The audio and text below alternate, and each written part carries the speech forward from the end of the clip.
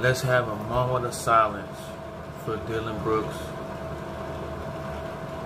and the Memphis Grizzlies, but especially for Dillon Brooks.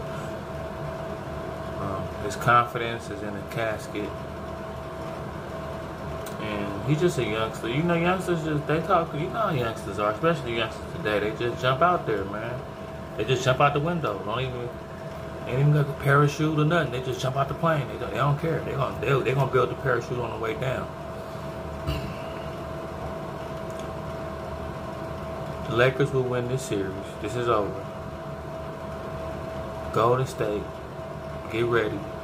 And it's Golden State fan calling me. They like, join us, be with us, be a part of us. You from out here, you from the Bay. Nah, no. Y'all get ready.